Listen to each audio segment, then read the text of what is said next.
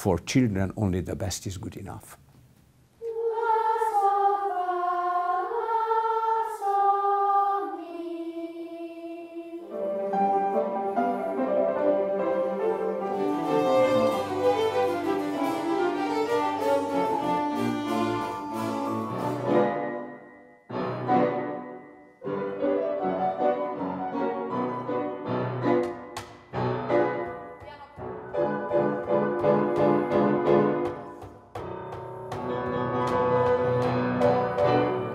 This is not a elite school. It is only a fantastic school where uh, the music is in the center. Very easy idea. Within the Music Institute, a primary school where music is not considered to be hobby, but music is a central subject where the children are receiving it daily. Instrumental teaching should be four times a year and everything should happen in the morning.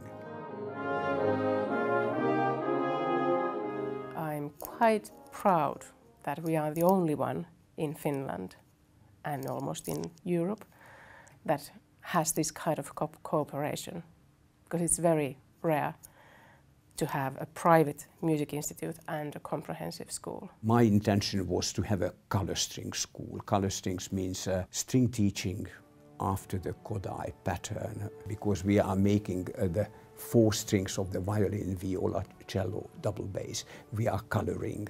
This makes easy uh, to read at the beginning and it's uh, much more child-centered than uh, any of the traditional teachings.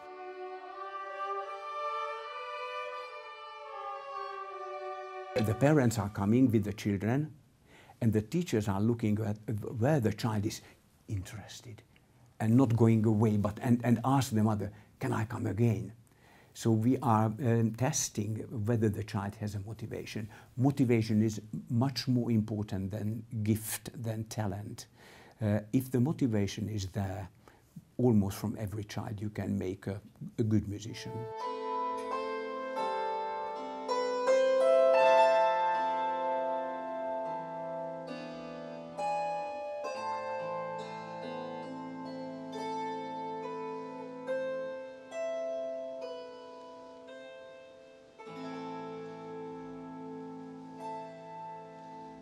Kantele is excellent instrument to start with because the sound is so fine and you have to kind of like with any other string instruments you have to make the sound with your fingertips and by by giving a pressure in the right way you can make the sound louder or softer so that is the way how you uh, start kind of controlling your power and controlling the way to use your fingers and these fine uh, movements to find different sounds. Like how's the bear walking? How's the bird singing? Or what are the stars like? The water drops do.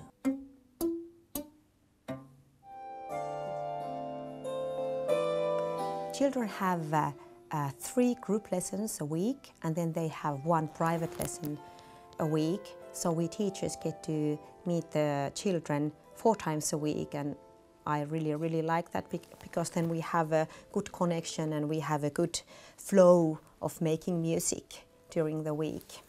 Some of them are before noon and some group lessons are in the afternoon like um, one o'clock or two o'clock and I think that is a good time to give a lesson because uh, the children are still in an active mode.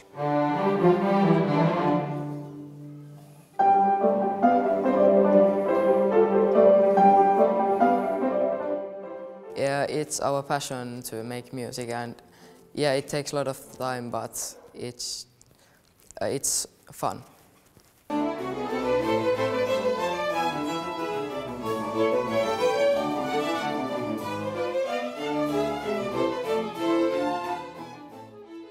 if we do music education, if we do whatever kind of education, we have to do it with a high responsibility. Because these early years between let's say 6 and 16 are the crucial years. So we know that all the connections in the brain are done. Children are most open for learning and everything what we teach them then will change their life and this is one of the only schools in the world uh, i have seen who is fulfilling for me for me the criteria of quality so to make with quite really normal children, not super talented children, uh, really good musicians. And that's something what drove me here. We look the structure, we are finding secrets in the music, we are telling stories with the music, we are inventing stories with the music. What is the music telling? The violins are living, so they tell stories, they talk. So we find out how do they talk. Um, and that's game-like. That's what children love. Children are full of fantasy. Use that since 2003, the brain researchers from Helsinki University, they have been searching and testing and following our children. Uh, it's like nine years. They started with the first graders and followed until nine years. And I saw on an international film here in the Helsinki University that our children, the brain is uh, much more rich than those uh, same social group, same age group who were not doing music. What they have found, it really it's, it's proved that there is something. It happens in brains that music gives more um, possibilities and abilities to learn. And now this year they started a new group with the first graders. So the same researchers are making the second nine years research. The fact that the, the children are uh, playing in a group that makes it so much easier for me to do all this uh, team building and uh, uh group work and, and like I said they, they uh, um, work well in pairs and groups at, but as well as a class. Also capability of uh, putting the stress out so solving the stress of nowadays or this kind of it gives much positive. It's only positivity that they get through music. Music has a, a social function no doubt. Usually there are five six children uh, playing together, they learn so much from each other. It's, uh, these kind of things that no one, no teacher can teach them, but they just watch, okay, what are you doing? I want to do also that. So it's not competing, it's learning from each other and uh, they learn also social skills that uh, okay now I have to listen my uh, my friend playing that that okay now I'm doing the um, solo I'm doing the melody okay now I'm doing the second uh, voice or something.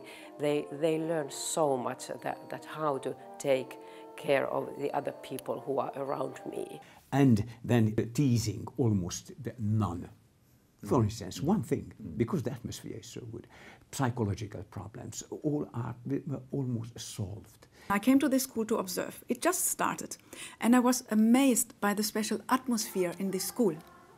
I was amazed of the interaction about the children, how they were talking about music, how they were interacting with themselves, the kind of special atmosphere which I have found in no other place.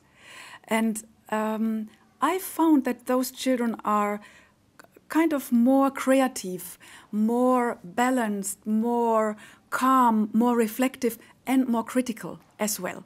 To study music helps in every level. It helps in concentration, it helps memorizing things, it helps you uh, work with groups, it helps you to listen others, it helps you to um, kind of um, see what's happening around you, and it is very important for your uh, writing as well, and mathematics skills, and learning languages. So I think to play an instrument, it is a way of um, kind of open your brain to to study more and make a capacity to take more information. Someone in, from the ministry, or not ministry, but between the ministry and the schools, they told that this is too expensive school.